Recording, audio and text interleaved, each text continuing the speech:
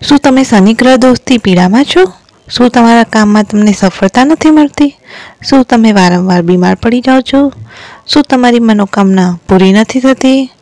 શું તમને પીપળા પર પાણી ક્યારેય ચડાવવાથી શું લાભ મળે છે તે નથી ખબર? શું તમે પીપળાના વૃક્ષ પર ખોટા દિવસે પાણી ચડાવો છો?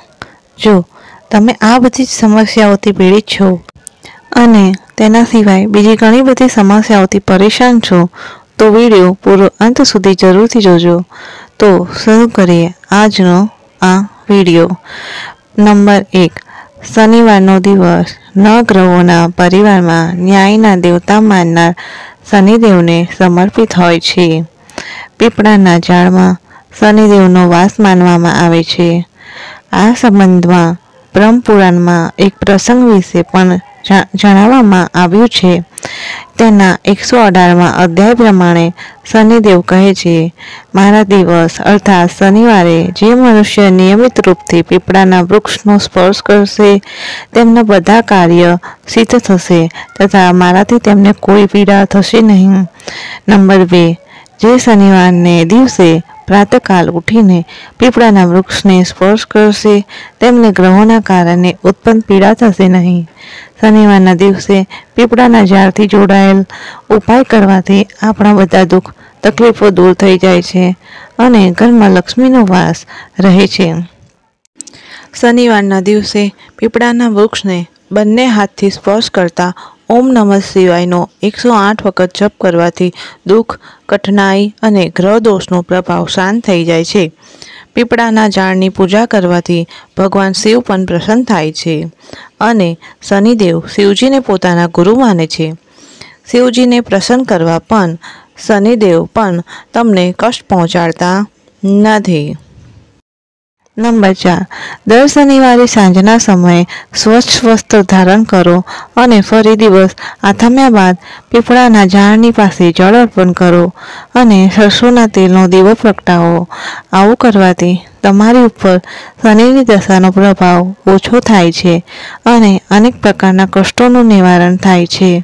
તમારે પીપળાના ઝાડની પૂજાની સાથે જ હનુમાન ચાલીસાનો પાઠ કરવો જોઈએ અને પીપળાના વૃક્ષની પાંચ વખત પરિક્રમા કરવી જોઈએ. નંબર પાંચ. શનિવારના દિવસે પીપળામાં દૂધ, ગોળ અને પાણી મિક્સ કરી ચડાવો અને પ્રાર્થના કરો, હે પ્રભુ તમે ગીતામાં કહ્યું છે કે વૃક્ષમાં, પીપળામાં હું છું. હે ભગવાન, મારા જીવનમાં આ પરેશાની છે. તમે કૃપા કરી મારી આ પરેશાની, મનમાં જે પણ પરેશાની હોય તેનું નામ લો. દૂર કરવાની કૃપા કરો. પીપળાનો સ્પર્શ કરો અને ચારે તરફ પરિક્રમા કરો. હિન્દુ માન્યતાઓ છે કે પીપળાના ઝાડમાં તમામ પ્રકારના દેવી દેવતાનો વાસ હોય છે. જો ઘરના કોઈ પણ સભ્યનું સ્વાસ્થ્ય સારું ન હોય તો તેને પીપળાના ઝાડની એકસો આઠ વાર પ્રદક્ષિણા કરવી જોઈએ. આ દરમિયાન તેમને ઓમ નમઃ શિવાયના મંત્રનો જાપ કરવો જોઈએ. એવું માનવામાં આવે છે કે આમ કરવાથી શરીરમાં વાત પિત્ત અને કપનું સંતુલન જળવાઈ રહે છે. નંબર સાત.